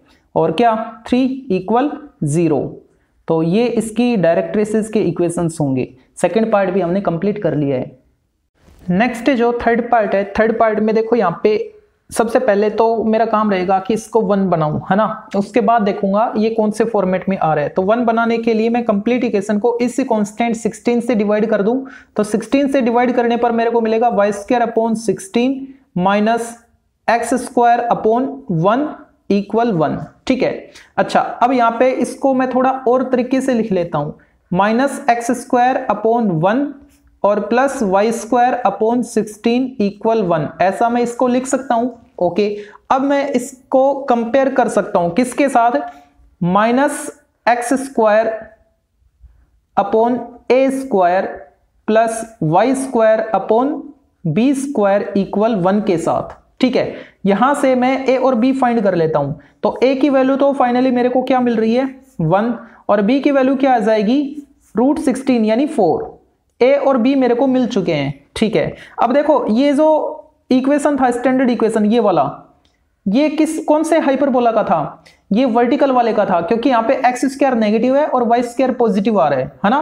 तो इसको हमने किसमें पढ़ा था? जो वर्टिकल हाइपरबोला आया था, उसका स्टैंडर्ड इक्वेशन था ये ओके तो अब की बार हमको सारे के सारी जो भी सात पॉइंट फाइंड करने ना, वो सारे के सारे वर्टिकल हाइपरबोला के लिए फाइंड करने तो सबसे पहला पॉइंट था हमारे पास, उसको मैं ए नाम दे देता हूँ, ठीक है? ए में हमको फाइंड करना था। इसकी जो ट्रांसवर्स एक्सिस थी ना, उसकी length length of transverse axis अगर ये हॉरिजेंटल होता तो मैं टू ए लिखता। ठीक है, लेकिन ये वर्टिकल है तो इसकी लेंथ क्या बनेगी? टू बी ओके तो टू मल्टीप्लाई बी की वैल्यू क्या है मेरे पास? फोर यानी एट यूनिट्स ओके अब जो इसकी दूसरी एक्सिस है, यानी इसकी कॉन्जुगेट एक्सिस उसकी लेंथ भी मेरे को फाइंड करनी है। लेंथ ऑफ़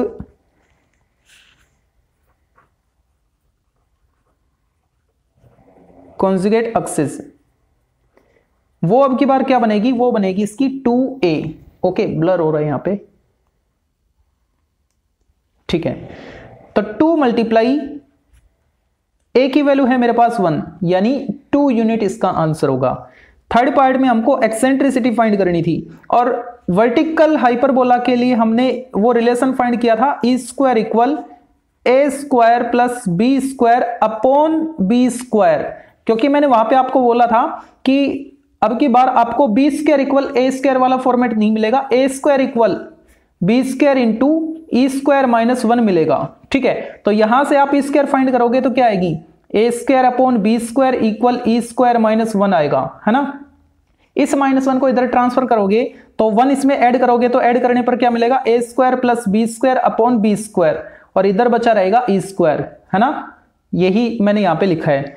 अगर ये हॉरिजेंटल होता तो उस केस में नीचे ए स्क्वायर आता। और वर्टिकल है तो उस केस में नीचे बी स्क्वायर आ रहा है। ये ध्यान रखना आपको। अगर हॉरिजेंटल है तो नीचे ए स्क्वायर और वर्टिकल वाला है तो आपको बी स्क्वायर से डिवाइड करना है। ठीक है? अब इसमें वैल्यू पुट कर लो और ई स्क्वायर फाइंड कर लो। पहले उसके बाद मैं स्क्वायर हटा दूँगा तो ई e की वैल्यू आ जाएगी। A square one plus B square sixteen upon sixteen कितना? सेवनटीन अपॉन सिक्सटीन अब यहाँ से आप ई e की वैल्यू फाइंड कर लो तो क्या आएगा? रूट सेवनटीन अपॉन फोर तो e की वैल्यू भी मेरे को मिल चुकी है रूट सेवनटीन अपॉन फोर तीसरा पॉइंट मैंने फाइंड कर लिया. नेक्स्ट जो डी पॉइंट है डी पॉइंट में हमको इसने पूछा था, जो इसकी फोकी थी, उनके कोऑर्डिनेट्स ठीक है? फोकी उसको अगर मैं एस से रिप्रेजेंट करूँ एस से डिनोट करूँ तो एस के कोऑर्डिनेट वहाँ पे तो जो हॉरिजेंटल था, वहाँ पे तो मेरे को plus minus a comma zero मिल रहा था. और यहाँ पे क्या मिलेंगे? वर्टिकल है तो एक्स कोऑर्डिनेट तो उसका ज़ीरो होगा. ठीक है? और वाई कोऑर्डिनेट हमको मिला था उसका प्लस माइनस बी ऊपर भी थी और नीचे माइनस बी कोऑर्डिनेट था उसका। तो मैंने लिखा plus minus b e sorry b e ठीक है? ई e से मल्टी एक्सेंट्रिसिटी से मल्टीप्लाई किया था हमने ओके तो यहाँ पे वैल्यू पुट कर दो अब और एस की वैल्यू फाइंड कर लो। एस की वैल्यू क्या आएगी? ज़ीरो कोमा प्लस माइनस ये जो ई e आया, इसको बी से मल्टीप्लाई कर दो फोर से मल्टीप्लाई कर दो तो फोर कैंसिल रूट सेवनटीन ऐसा आ गया। यानी इसकी फोकी के कोऑर्डिनेट भी हमको मिल चुके हैं। ओके इसके बाद हमको फाइंड करना था इसके वर्टिसेस के कोऑर्डिनेट्स ठीक है? जो नेक्स्ट पॉइंट है हमारे पास ई e पॉइंट उसमें इसके वर्टिसेस पूछे इसने। उसको अगर मैं वी से डिनोट करूँ तो वर्टिसेस के कोऑर्डिनेट अगर हॉरिजेंटल होता तो उस केस में तो मेरे को क्या मिल रहे थे? Plus minus a comma zero है ना? लेकिन यहाँ पे क्या मिलेंगे? Zero comma plus minus b ये वाले। अब b की वैल्यू यहाँ पे पुट कर दो, v के कोऑर्डिनेट आपको मिल जाएँगे। क्या मिलेगा? Zero comma plus minus b क्या है? फोर है। ठीक है? तो इसके कोऑर्डिनेट हो गए plus minus four zero comma plus minus four F point six point six point में हमको फाइंड करना था इसकी length of latus rectum L R की length length of latus rectum ठीक है? तो एल आर की लेंथ अगर होरिजेंटल हमको मिल रहा था हाइपरबोला तो उस केस में two b square upon a आई थी और वर्टिकल वाले केस में हमने फाइंड किया था तो वो लेंथ कितनी आई थी? वो लेंथ आई थी two a square upon b इसके इक्वल अब आपको वैल्यू पुट करनी है। Two multiply a square one upon b four cancel हो रहा है वन बाई टू आंसर इसका। ठीक है? अब इसका एक लास्ट पॉइंट और बच गया जी पॉइंट सेवंथ पॉइंट और उसमें हमको इक्वेशन फाइंड करना था इसकी डायरेक्ट्रिसिस की, ठीक है? Equations of its directrices okay अगर ये हॉरिजेंटल होता, ये हाइपरबोला हॉरिजेंटल को रिप्रेजेंट करता तो उस केस में हमने इसका इक्वेशन पढ़ा था एक्स इक्वल करके। कांस्टेंट और वो कांस्टेंट क्या था? प्लस माइनस ए अपोनी लेकिन ये वर्टिकल वाला है तो वाई इक्वल आएगा, ठीक है? वाई इक्वल अब की बार ए ना आके क्या आएगा? बी अपॉन ई जो वर्टेक्स के कोऑर्डिनेट थे, उसमें एक्सेंट्रिसिटी से डिवाइड किया था तो इसके डायरेक्ट्रेसेस के इक्वेशन हमको मिले थे, ठीक है? आप कॉन्सेप्ट वाला वीडियो मतलब इसका थोड़ा सा पहले वाला पार्ट देखोगे तो आपको बिल्कुल क्लियर क्लियर हो जाएगा। तो यहाँ पे मैं वैल्यू पुट करता हूँ। y equal plus minus b upon e अब b क्या है मेरे पास? फोर अपॉन ई ई क्या है मेरे पास? रूट सेवनटीन अपॉन फोर तो वो फोर तो ऊपर आएगा और रूट सेवनटीन नीचे आएगा। यानी plus minus sixteen upon root seventeen इसको आप क्रॉस मल्टीप्लाई करो। यानी रूट सेवनटीन वाई के साथ आएगा तो मेरे को इक्वेशन मिलेगा रूट सेवनटीन वाई और ये इधर आएगा तो प्लस माइनस ही लिखेंगे इसको। सिक्सटीन इक्वल ज़ीरो ये इसकी डायरेक्ट्रेसिस के इक्वेशन होंगे। जो फोर्थ पार्ट है, इसको देखते हैं। फोर्थ पार्ट में सबसे पहले तो कांस्टेंट जो है इधर राइट साइड उसको वन क्रिएट करो। वन कैसे? कंप्लीट इक्वेशन को 144 से डिवाइड कर दो। तो आपको मिलेगा 16 अपॉन 144 नाइन टाइम यानी x square upon nine minus 144 और ऊपर नाइन है। कैंसिल 16 तो ये मिलेगा वाई स्क्र अपॉन सिक्सटीन अब इधर आ गया वन ठीक है। अब देखो, ये किसके साथ कंपेरेबल है? X square upon a square minus y square upon b square equal one के साथ। और ये तो हॉरिजेंटल हाइपरबोला वाला केस आ गया, क्योंकि वाई स्क्वायर यहाँ पे नेगेटिव आ रहा है, ठीक है? तो सबसे पहला काम क्या रहेगा? हमारा ए और बी फाइंड करना। तो ए की वैल्यू निकाल लो यहाँ से। ए की वैल्यू क्या आ रही है? इस पर रूट कर दो। तो थ्री आएगा, और बी की वैल्यू क्या आएगी? फोर ए आ गया बी आ गया। ओके अब मैं वन बाय वन वो सारे के सारे पॉइंट्स फाइंड करता हूँ। सबसे पहला पॉइंट से हमको क्या फाइंड करना था पहले पॉइंट में? ट्रांसवर्सेस एक्सिस की लेंथ फाइंड करनी थी। लेंथ ऑफ़ ट्रांसवर्सेस एक्सिस तो यहाँ पे जैसे हमने फ़र्स्ट पार्ट को किया था सेम वैसे ही आपको करते चलना है। बस ए और बी की वैल्यू थोड़ी चेंज है, ठीक है? तो उसमें लेंथ क्या आई थी? टू ए तो टू मल्टीप्लाई थ्री यानी सिक्स यूनिट इसका आंसर हो जाएगा। अब हमको बी पार्ट में फाइंड करनी थी लेंथ ऑफ़ सो इसका दूसरा एक्सिस था और उसका नाम क्या था? उसका नाम था कंजुगेट एक्सिस कंजुगेट एक्सिस उसकी लेंथ क्या आई थी? उसकी लेंथ थी टू बी तो यहाँ पे टू मल्टीप्लाई बी की वैल्यू क्या है? फोर है। फोर टू जा एट यूनिट्स ओके ठीक है, दो वैल्यू हमने फाइंड कर ली है। तीसरी वैल्यू एक्सेंट्रिसिटी वाली थी तो उसमें हमको रिलेशन क्या मिला था? कौन सा है ये? ये हॉरिजेंटल वाला है। तो यहाँ पे नीचे क्या करना होगा? ए स्क्वायर करना होगा। A square plus b square upon a square और वर्टिकल वाले में हमने नीचे बी स्क्वायर किया था। सेकंड पार्ट में आपने देखा होगा। ठीक है तो यहाँ से पहले ई स्क्वायर फाइंड कर लो, उसके बाद ई निकाल लेंगे।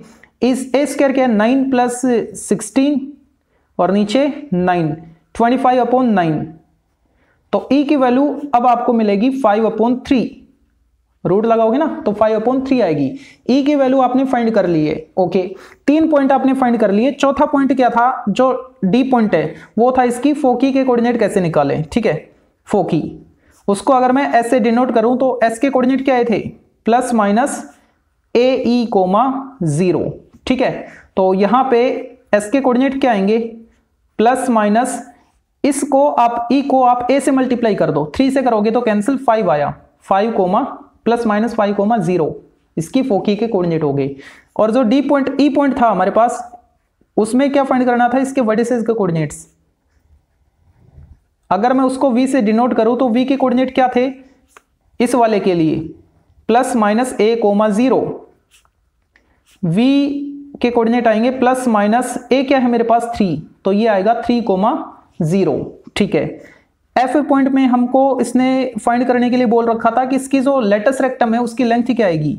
Length of L R length of latus rectum तो लेटेस्ट रेक्टम हमने फाइंड की थी two b square upon a से, ठीक है।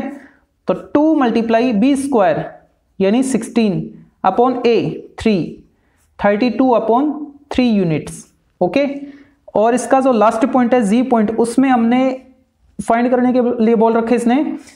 Equations of its डायरेक्ट्रेसेस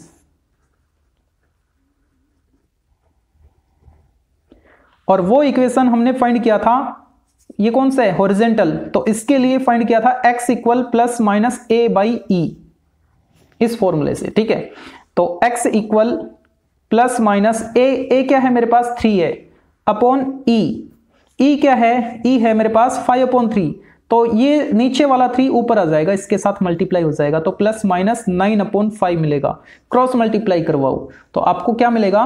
five x और ये इधर आएगा तो plus minus nine equal zero ये उस हाइपरबोला की डायरेक्ट्रेसिस का इक्वेशंस होगा। फ़र्स्ट का जो लास्ट पार्ट है फिफ्थ पार्ट अब इसको देखते हैं। तो सबसे पहला काम क्या रहेगा हमारा? जो कांस्टेंट है राइट साइड उसको वन क्रिएट करना। और ये वन कब बनेगा? जब मैं माइनस एटीन से कंप्लीट इक्वेशन को डिवाइड कर दूँ। तो डिवाइड करते हैं माइनस एटीन से कंप्लीट इक्वेशन को। तो यहाँ पे माइनस एटीन अपॉन में करूँगा तो क्या मिलेगा? थ्री सिक्स यानी माइनस सिक्स मिला। मतलब x square upon minus six उस माइनस को मैंने ऊपर ट्रांसफ़र कर दिया है, ठीक है? और इस वाले में जब मैं माइनस एटीन से डिवाइड करूँगा तो माइनस से माइनस कैंसिल प्लस हो गया और सिक्स कैंसिल यहाँ पे थ्री आएगा, यानी y square upon three equal one minus eighteen में माइनस एटीन से डिवाइड करोगे तो वन आएगा, ठीक है। अब देखो ये किसके साथ कंपेरेबल है? ये वाला तो minus x square upon a square plus y square upon b square equal one इसके साथ कंपेरेबल है। और ये किसका स्टैंडर्ड इक्वेशन है? ये तो वर्टिकल फॉर्मेट में जो हाइपरबोला हमको मिला था, उसका स्टैंडर्ड इक्वेशन है, ठीक है। यानी हमको वर्टिकल वाले सारे केस लेके चलने होंगे। तो फ़र्स्ट केस में उससे पहले आप ए और बी निकाल लो। ए की वैल्यू क्या आ रही है? इस पे रूट कर दो रूट सिक्स और बी की वैल्यू क्या आ रही है? रूट थ्री ए आ गया बी आ गया, ठीक है। अब फ़र्स्ट पॉइंट में हमको क्या फाइंड करना था? फ़र्स्ट पॉइंट ब्लर हो रहा है क्या? अब ये हो गया, ठीक है।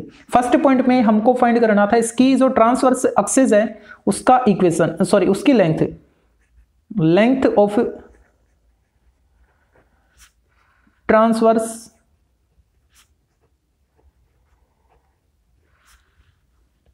pen खत्म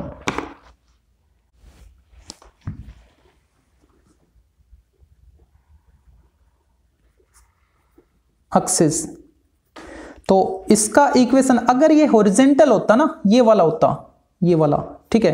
तो उस केस में इसकी ट्रांसवर्स एक्सिस का इक्वेशन लेंथ हमने टू ए फाइंड की थी और वर्टिकल के लिए हमने फाइंड किया था टू बी वैल्यू पुट करो। Two multiply value of b root three. तो इसका आंसर आया टू रूट थ्री यूनिट्स। ठीक है। बी पॉइंट बी पॉइंट पे हमको दूसरी इसकी जो एक्सिस थी कंजुगेट उसकी लेंथ फाइंड करनी थी। लेंथ ऑफ़ कंजुगेट एक्सिस वो यहाँ पे क्या बनेगी? वो बनेगी two a. Two multiply value of a root six, यानी टू रूट सिक्स यूनिट्स, इसका आंसर होगा। नेक्स्ट जो सी पॉइंट था, उसमें आपको एक्सेंट्रिसिटी की वैल्यू फाइंड करनी थी। तो ई स्क्वायर किसके इक्वल आया था? A square plus b square upon b square. अगर ये वर्टिकल है, उस केस में अपॉन बी स्क्वायर ये हॉरिजेंटल होता। ये वर्टिकल था तो ये वाली वैल्यू। अगर ये हॉरिजेंटल होता तो नीचे ए स्क्वायर लिखते, ठीक है? यहाँ से आप ई स्क्वायर की वैल्यू फाइंड कर लो पहले। ए स्क्वायर क्या है? Six plus three. और नीचे बी स्क्वायर, थ्री। ऊपर नाइन, नीचे थ्री। एम आई राइट एक बार फिर से देखो a square six b square okay upon b square three ठीक है? तो ई e की वैल्यू क्या आ रही है? ई e की वैल्यू ओनली रूट थ्री आ रही है, ठीक है? अच्छा ई e की वैल्यू आ गई, बस यही फाइंड करना था सी पॉइंट में तो। डी पॉइंट डी पॉइंट में हमको क्या फाइंड करना था? इसकी जो फोकी है, उसके कोऑर्डिनेट्स ठीक है? फोकी अगर मैं उसको एस से रिप्रेजेंट करूँ तो अगर ये होरिजेंटल होता, उस केस में plus minus a e comma zero लेता। लेकिन ये तो वर्टिकल वाला है तो उस केस में क्या लेंगे? Zero comma plus minus b e यहाँ पे वैल्यू पुट करनी है आपको। एस के कोऑर्डिनेट आपको मिल जाएँगे। Zero comma plus minus b को ई से मल्टीप्लाई कर रखा है इसने। तो ये जो है, इसको मल्टीप्लाई कर दो इसके साथ। तो root three into root three three हो गया। ठीक है? ई e पॉइंट इसके वर्टिसेस के कोऑर्डिनेट वर्टिसेस को अगर मैं वी से डिनोट करूँ तो वी के कोऑर्डिनेट हॉरिजेंटल वाले केस में हमको मिले थे plus minus a comma zero vertical वाले केस में मिलेंगे zero comma plus minus b value put करो। तो वी के कोऑर्डिनेट क्या आएँगे? Zero comma plus minus b की वैल्यू देखो क्या है? रूट थ्री ठीक है? एफ़ पॉइंट सिक्स पॉइंट इसका। एफ़ पॉइंट में हमको फाइंड करना था जो इसकी लेंथ ऑफ़ लेटस रेक्टम है वो। ठीक है? लेटस रेक्टम की लेंथ ब्लर हो रहा है। लेंथ ऑफ़ एल आर अगर ये हॉरिजेंटल होता अगर ये हॉरिजेंटल होता, उस केस में length of latus rectum two b square upon a find की थी। लेकिन ये तो वर्टिकल है। तो वर्टिकल वाले केस में हम क्या लिखेंगे? Two a square upon b अब आपको वैल्यू पुट करनी है। Two multiply a square six upon b root three यानी ट्वेल्व बाई रूट थ्री इसको सिंप्लीफाई कर लो। रूट थ्री से ऊपर नीचे मल्टीप्लाई कर दो। तो आपको मिलेगा ट्वेल्व रूट थ्री और नीचे बन गया थ्री। ये थ्री इसको कैंसिल करेगा फोर टाइम तो आपको फाइनली आंसर क्या मिलेगा? फोर रूट थ्री यूनिट्स अब दिख गया, ठीक है? ओके नेक्स्ट जो इसका पॉइंट था, वो हमको फाइंड करना था इसके इक्वेशंस लास्ट पॉइंट था इसका, ना? ई एफ़ जी किसका इक्वेशन इसकी डायरेक्ट्रेसिस के equations equations of its directrices अगर ये होरिजेंटल होता, उस केस में हमको इक्वेशन क्या मिलते? X equal plus minus a upon e लेकिन ये तो वर्टिकल फॉर्मेट में है। वर्टिकल फॉर्मेट में क्या मिलेगा? Y equal plus minus b upon e ठीक है? Y equal plus minus b क्या है? बी है मेरे पास root three upon e e है मेरे पास रूट थ्री ये तो कैंसिल यानी y equal plus minus one आप इसको इधर ट्रांसफ़र करके लिखोगे तो भी साइन तो यही रहने वाले हैं plus minus one equal zero इसी के साथ आपका फ़र्स्ट क्वेश्चन कंप्लीट होता है। Thank you